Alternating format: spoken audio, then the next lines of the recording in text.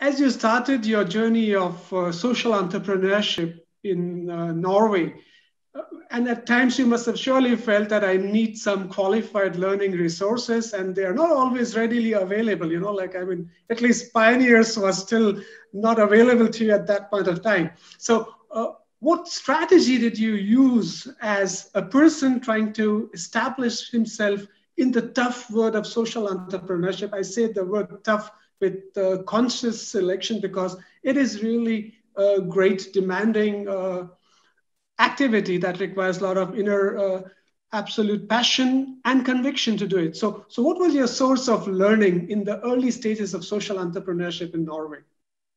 Uh, that's very good question, uh, Mr. Uh, social entrepreneurship is something that's not known well in Norway. It's something new uh, that's that's what what I think, and uh, the strategies we use is uh, to talk about to talk with different companies, different different um, different people, to just to just get them what they think about uh, the social entrepreneurship journey. And that's the, the the biggest strategy we use just to talk to speak with people how do we enter the database where we can find the database and, and how, how we enter it? So what you can see is the project website, which is this pioneerseu.no. And here in the menu of the website, you have the different sections. Um, one of the sections is the online digital database. So you just need to click on the online digital database and you will access, as I showed you before in my short presentation, this list of resources identified in the different countries. So you can search, filter here if you select good practices. So you will see the 17 good practices, for instance, or fortified projects, or you can select by country, maybe from 14 results are coming from Norway or language 30 from French and so on, okay? And if you click on any of these resources, you will find the title, the short description, and here the relevant thing is the link to the resource, original one, of course, in this case in English or in the available languages. So you can navigate here also from one resource to another. So as I already said, you have uh, here, uh, I, we think this is a useful and relevant resource for everybody. So you can find a lot of uh, really interesting information. Uh, Viviana, as, as I of really uh, followed your story, I found that you do something that is really of tremendous value. You used, uh, and pardon me if my understanding was incomplete, I saw you kind of really suggests that learning about diversity, learning about different culture is a wonderful strategy to create a different kind of human energy. So, you know, like as an experienced uh, coach in the field of diversity, uh, would you like to kind of really share one strategic advice for somebody who's trying to kind of really be more efficient in dealing with diversity in their life? Thank you for the question. No, yes, you you you got totally like what what what is our work, and I would say for me it is like simple but not so simple. I call my company Global Mindset Development. I and I think the strategy is to try to develop a, a global mindset, a mindset that is open and curious, like genuinely curious. This is for me is let's say the best way for like managers but for everyone to deal with diversity. So with this like learning approach and genuine curiosity because you don't have to change if you don't want but maybe what is out there is it can like enrich you. So this is what we want them to like experience. And this is also why we have developed like courses but also i, I strongly believe it also in experiential learning. So i developed an activity that is called the Glocal Malta, so where people can go and meet foreigners and Maltese who are bringing some Malta based on their international experience So maybe coming from outside is actually good for your island, your country, your city. You gave me a wonderful mantra, Viviana, this morning. Uh, to be authentic, I think that's a wonderful message. Uh, I'm going to really have it on my desk up there to remind me every day to be more authentic. And I can really congratulate you on your wonderful work of change. And I've also of really followed your work a little bit virtually, and I've seen that you really create some wonderful experiential opportunities for different cultures to uh, connect, to collaborate, to learn from each other. And uh, to all our conference participants, I would strongly recommend do check out Viviana's uh, homepage that has got some wonderful stories for you to learn from. Thank you, Viviana. Just two minutes to comment something, uh, in this case to Viviana, because uh, since you are working intercultural competencies for businesses and supporting companies, uh, and this is, we are having this uh, conference in the frame of an Erasmus Plus project. I would like to share with you the results of a previous project that we coordinate in our institution INFODEF in Spain. Um, it's about intercultural competencies for to support work-based learning in companies in order to prevent prejudice from employers to uh, involve migrants and ethnic minorities in work-based learning. So since you are supporting those companies, this is a good example of uh, tools, practice,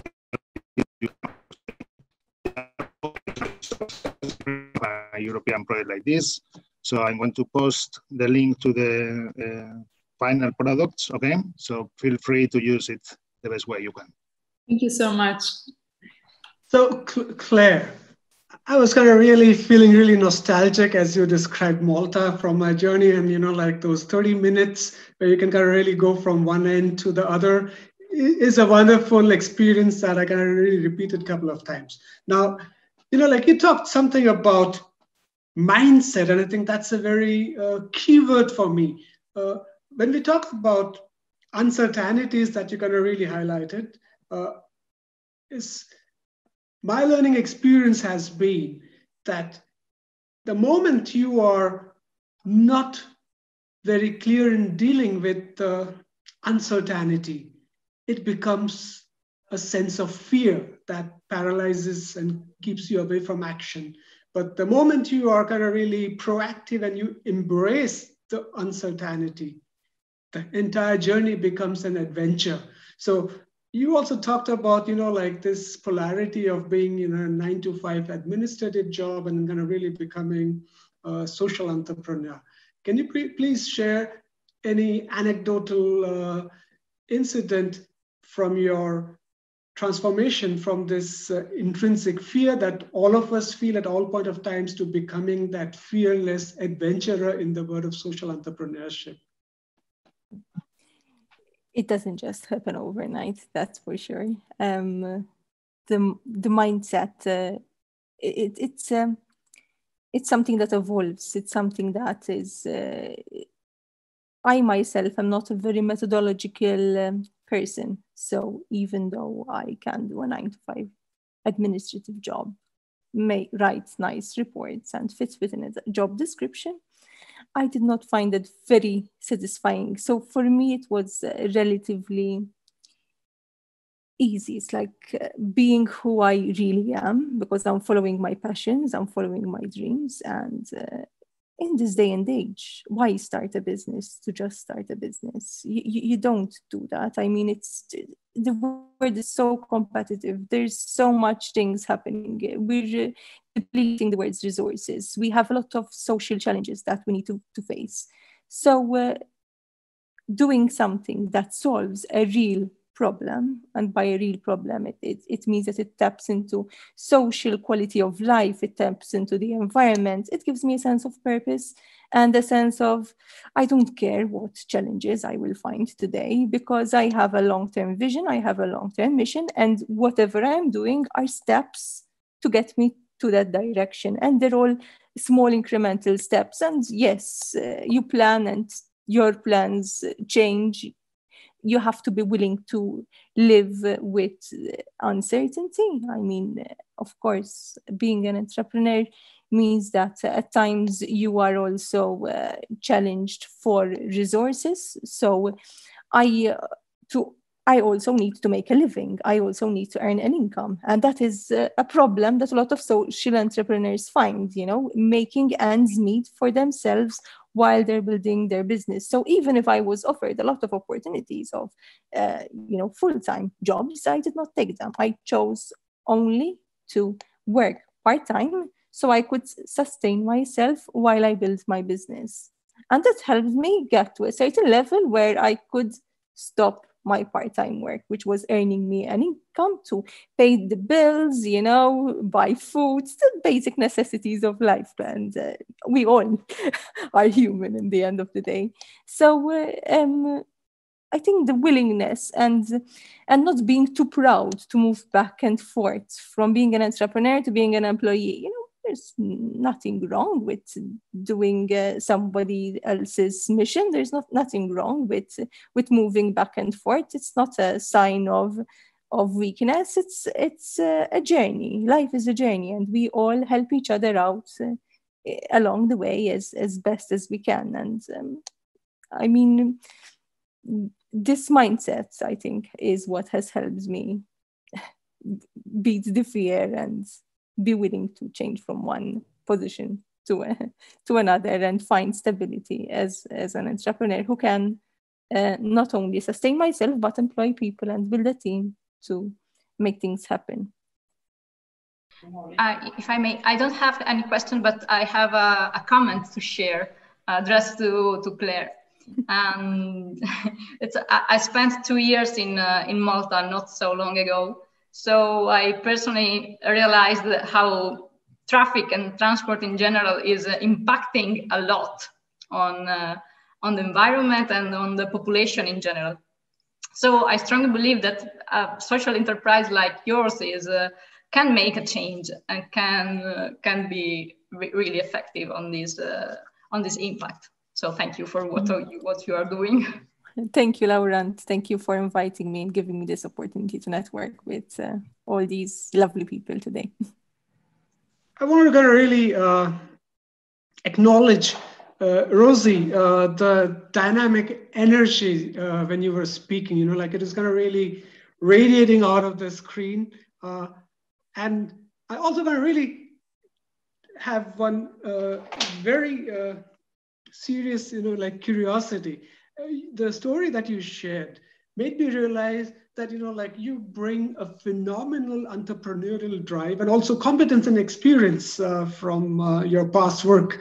So when you kind of really re-established yourself in ireland there must have been an immediately perceived need to educate and transform the community that was accepting you.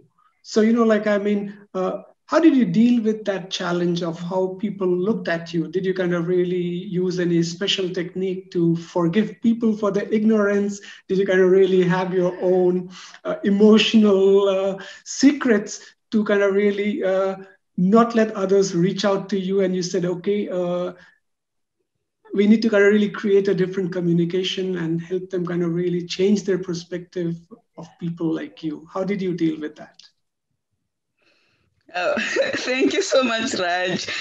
I would say, uh, yeah, it's been like for me, it's been like being on a roller coaster, and um, uh, my life was, I would say, I was okay. I was happy at home, and uh, things happened, and I had to move, and I moved alone without my kids, and it was it wasn't an easy journey, but because of having my children and knowing that I'm the only thing that they got. I had to keep on moving.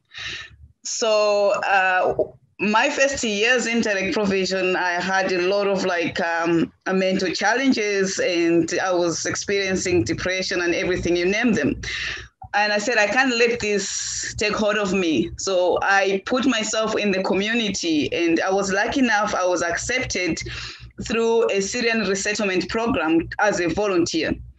So there, all, there was one uh, gentleman in there who I was working with, and he did everything as if nothing has happened in his life. So to me, he was like someone that I was looking up to to say, if this man can do like this, then I can also follow suit. And then from there, I was like, okay, the only thing I can do is just utilize any opportunity that is there for me to go and do and go to school. So I went into college and um, I found my peace in college. And then at the same time, I was like, okay, I'm here. If you don't accept me, that's your own problem. Those who accept me, let them accept me. And uh, also, before that, when I just came in, I met this Irish woman who was taking me for Irish set dancing. I knew nothing about Irish set dancing, but it was a way of me just meeting people and just having the crack, like dancing and all that. And also through the Irish set dancing, there were people who wouldn't want to touch me because of my skin. And uh, this lady, she actually told me, like, Rose, you're in this country. There are good people and there are bad people. So if you meet good people, don't think everyone is going to be good to you. And if you meet bad people, don't think everyone is going to be bad to you. So that's something that has always been in my head. Like if I meet someone who is nasty to me, I know there's someone who's going to be good to me after that.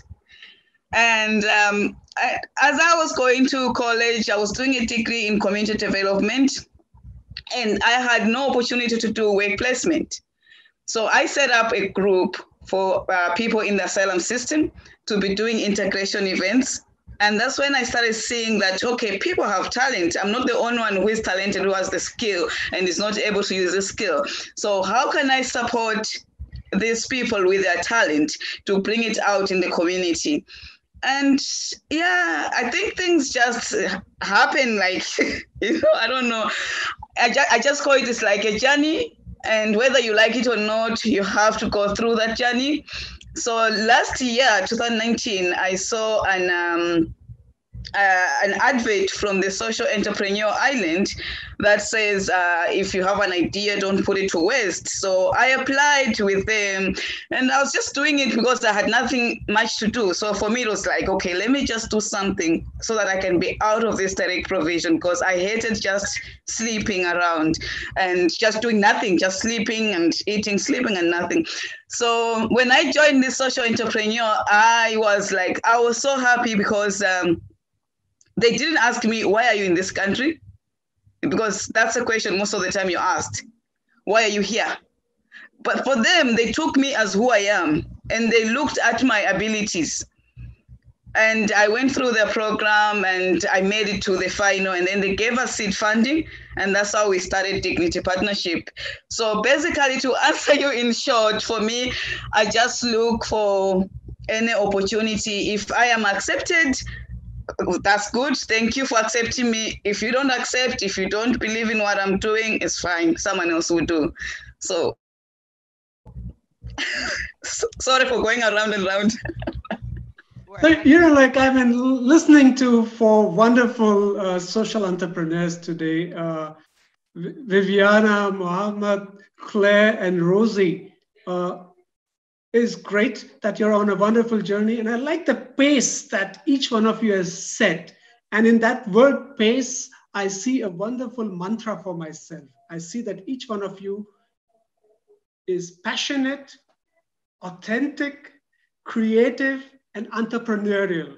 So that's the combination of pace that I see in each one of you. And I wish you a wonderful pace going ahead on your entrepreneurial journey. Thank you for sharing that story. I've learned a lot from you and I've been truly inspired. Keep the pace up.